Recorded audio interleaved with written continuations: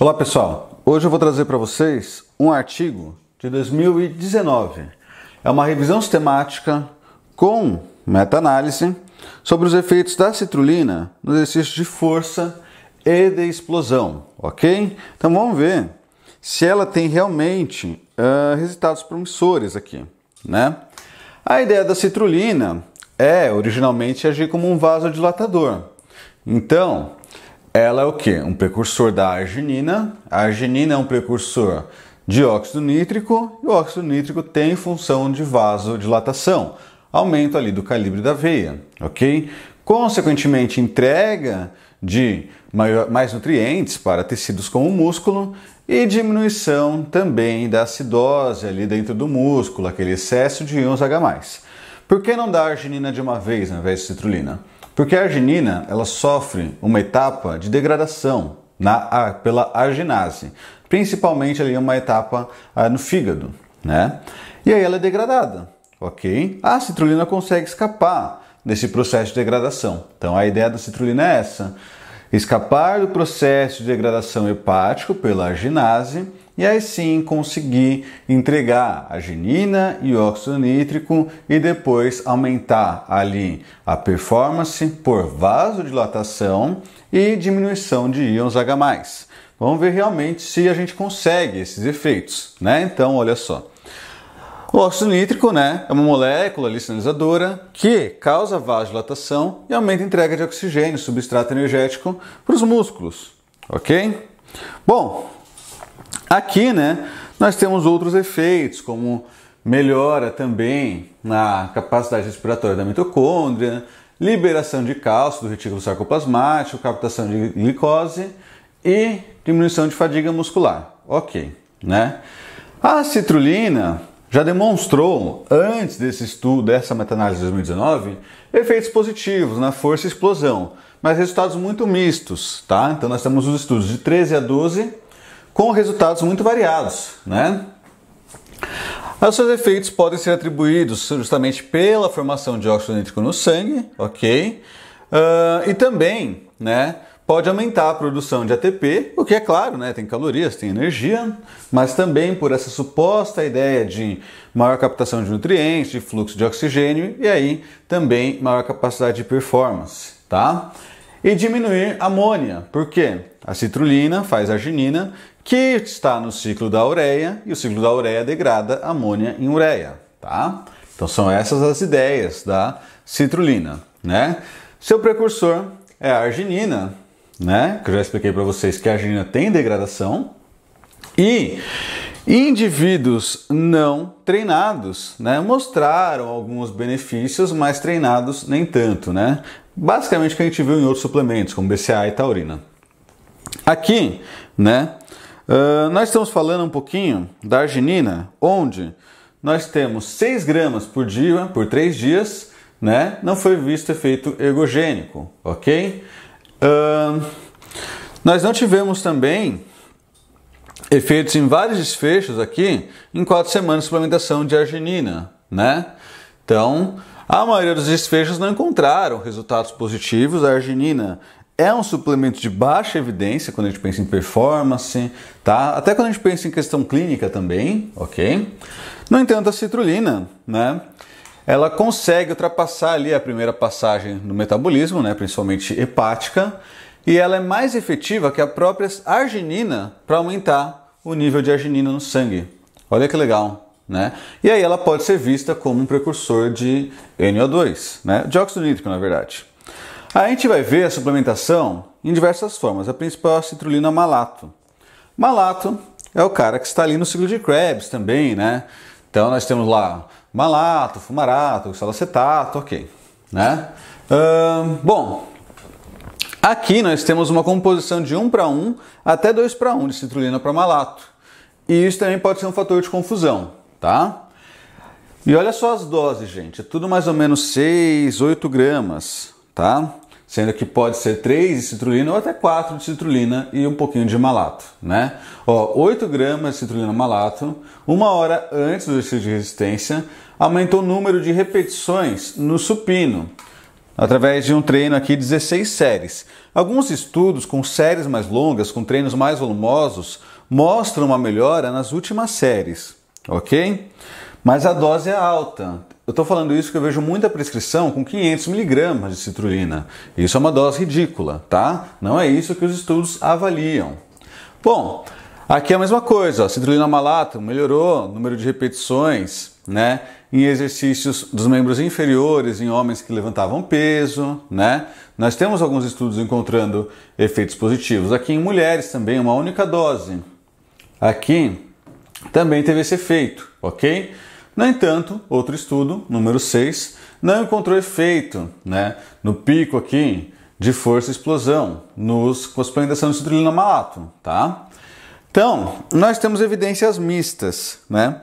Aqui nós temos então uma revisão sistemática com meta-análise, comparando estudos placebo controlados, ok?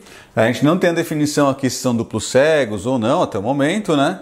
Uh, então nós temos apenas a suplementação em exercício de alta intensidade, placebo controlado, tá?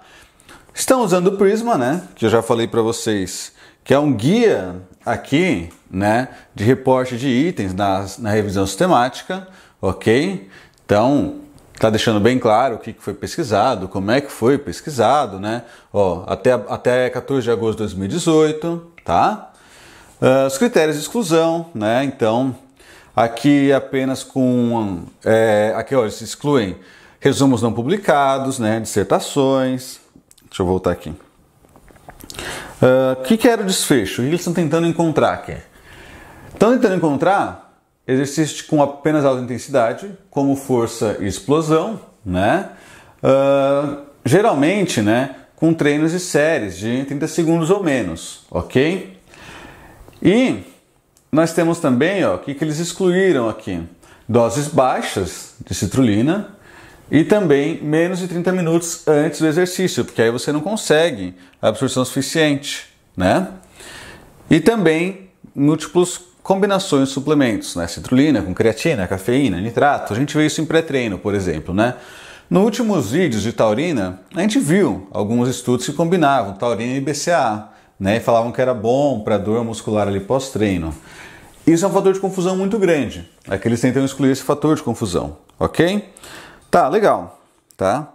Eles vão usar SMD, que é uma, um desvio de média aqui mais padronizado, né? Então, se eu tenho um resultado que está ali tá em uma unidade e outro resultado em outra unidade, eles não vão converter para uma unidade apenas de um estudo. Por exemplo, glicemia tem milimol em miligrama. Né? Eles poderiam converter tudo em miligrama, mas não, é que eles usam uma unidade padrão, né, SMD, para tentar encontrar a taxa ali de desvio dentre os resultados, dentro dessa média. Né? E o que, que eles encontraram aqui? Se o resultado do efeito foi pequeno, menor que 0.2, né? Não valeu nada. 0,2, 0,3, pequeno. 0,408, moderado. Maior que 0,8 igual alto. Então vamos falar que eu estou com três estudos. Suplementando citrulina. Um avaliou força ali em uma unidade, né? Sei lá, avaliou número de repetições máximas tentando avaliar a força, ok? Outra avaliou outro teste de força e o terceiro avaliou outro tipo de teste de força, né? Aí eles vão transformar tudo isso em SMD, legal. E aí vão tentar buscar qual foi a diferença entre os grupos citrulina e placebo, ok? Se for maior que 0.8, foi uma diferença muito grande nessa força, né? Então é essa a ideia, tá? Bom, legal, né?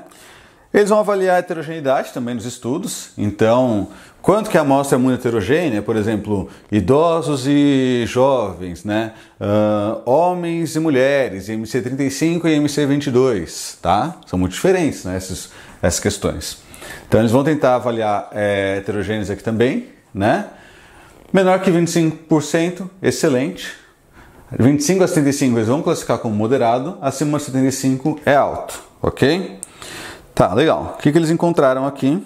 12 estudos com 13 amostras, né? 198 participantes, a maioria em participantes jovens, entre 20 a 30 anos, exceto um estudo que foi 51 anos.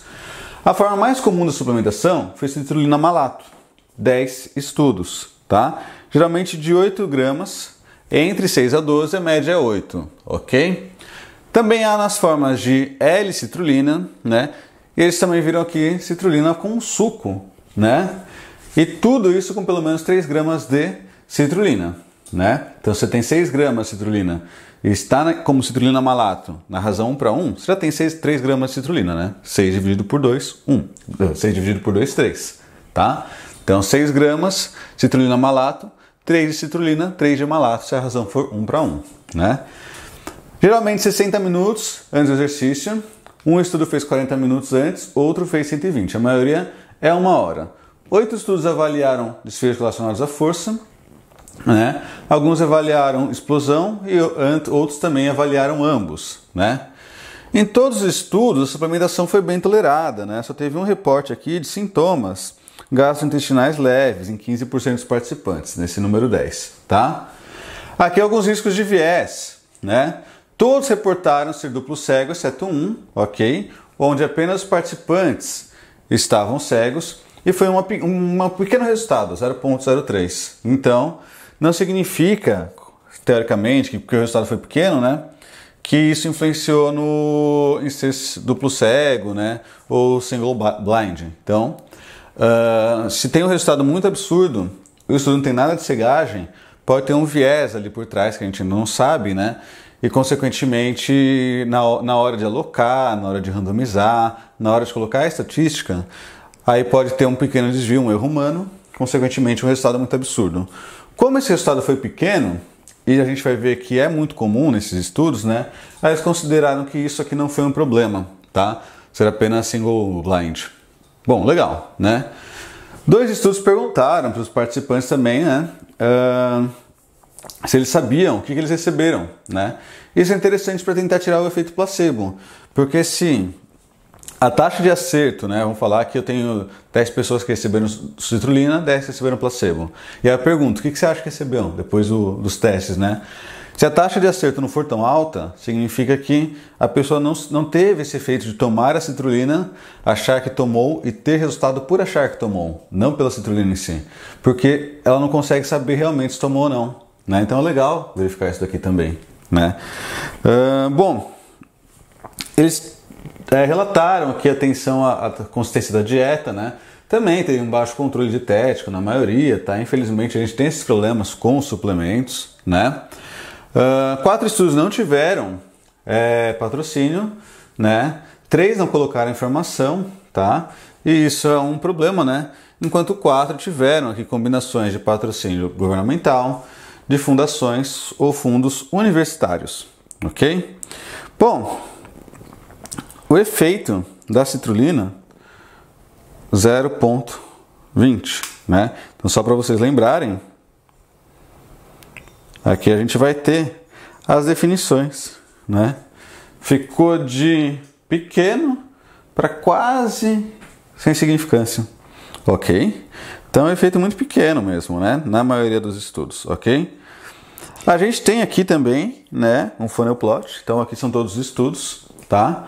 Uh, quanto mais para cima nessa pirâmide, nesse gráfico, funnel plot, maior a qualidade do estudo, dizendo assim, né? Então a gente vê que os estudos aqui não tem uh, um desvio, né, muito grande para efeitos, ok? Então Aqui eles não chegam, por exemplo, a 1, a 0.5, tá? E a maioria dos estudos tem uma qualidade, ó, só tem esse aqui mais alto, né? Um pouquinho menor, tá? Aqui a gente tem também o forest plot, né? Então, olha só que interessante, né? Todos aqui, todos os estudos passam pela linha zero, que favorece placebo ou citrulina. Então dá pra gente falar que tem efeito, gente. O losango está aqui, né? Ok, ele não chega a cruzar né, o zero, mas é um efeito muito pequeno, influenciado principalmente por causa desse estudo, que é o quadrado maior, tem o percentual aqui maior também de diferença no efeito, né? mas também cruza o zero. Então é muito complicado a gente falar que teve efeito esse estudo. Né? Então, os estudos, os, estudos né, os resultados dessa meta-análise indicam que a suplementação de citrulina pode ter um benefício na força uh, e explosão, Mas se tiver é um efeito pequeno e ainda, né? Uh, não dá para a gente confirmar apenas pelo losango, tá, gente? Porque olha só como é que cruza o zero aqui. Então, zero está aqui, né? É, é difícil a gente falar realmente que tem um efeito significativo, mas eu vou explicar algumas condições onde vale a pena talvez testar e estudar mais, né? Então, uma meta-análise aqui, outra meta-análise, né? É, eles viram efeitos ali mais moderados para cafeína, 0.4 e bicarbonato, 0.4 também. Nitrato foi baixo e betalanina também, né? Ok, e eram aqui uh, exercícios de curta duração, 45 segundos a 2 minutos, tá? É claro que aí a gente também teria que avaliar bem como é que foram os estudos conduzidos aqui, porque a betalanina é nível A de evidência, mas o efeito dela também não é tão alto, né? Então, aqui nós temos um pequeno número de estudos, né? Então não é muita coisa, tem que interpretar com cautela, ok? Uh, aqui basicamente estão falando mais do mesmo do que a gente já conversou, né? Então, legal, citrulina, ela aumenta em NO2, né? Uh, ela faz o clearance de amônia aqui, interessante, tudo isso é interessante, tá? Mas os resultados não foram tão significativos, foram mais mistos, é justamente o que eles falam nesse parágrafo, né? É... Outra coisa também é que o próprio malato ele faz parte do ciclo de Krebs, TCA, né, o ciclo do ácido tricarboxílico, ok? Então ele também fornece um pouquinho de energia, isso pode ser um fator de confusão, né? Então não temos literatura suficiente para isso, ok? Sai caro, porque doses, né, pelo menos 6, 6 gramas, né, se a gente pensa em citrulina malato, razão de 1 para 1, que a citrulina vai funcionar 3 a 6 gramas. Mas como ela vem na forma de citrulina malato, né, até para absorção, Aí, isso aqui é só citrulina, a gente tem que pensar em citrulina malato, ok? Sai caro também, é um custo-benefício ruim, tá? Uh, e aqui, nós temos as limitações, né? Poucos estudos, ok? Uh, teve um suposto efeito estatístico para a citrulina, tá? Mas não chega a ser um efeito clínico, né? E o SMD, que deu 0.02, 0.2, perdão, Olha a variação, de nada a quase moderado, mas está aqui no meio, né? Então, é interessante ter mais estudos, óbvio, né? E, olha que legal, né? As conclusões, os resultados, né, indicam que a suplementação de citrulina pode ter uma performance significativa e estatística, tá? Em comparação a placebo, com efeito pequeno mas que talvez, talvez seja útil em atletas de alto nível, né, com questões de desfechos competitivos aqui, definidos por resultados marginais, resultados pequenos, né? Então, aquele cara que pode se beneficiar de uma pequena coisinha, uma pequena evolução, ok? Aqui a gente tem, né, os tipos de exercícios, né, homens, mulheres, aqui o SMD, quanto que variou né? E aqui onde teve melhora mesmo foi na força, olha que interessante, né? SMD aqui foi 0.3 na força, no exercício de resistência também, né? Uh, e aqui quando o financiamento, né, ou não falavam era da indústria, chegou a passar um pouquinho aqui também, tá? Mas aqui não foi tão significativo. Foram mais nesse, nesse daqui, né? A gente consegue ver por aqui, ó.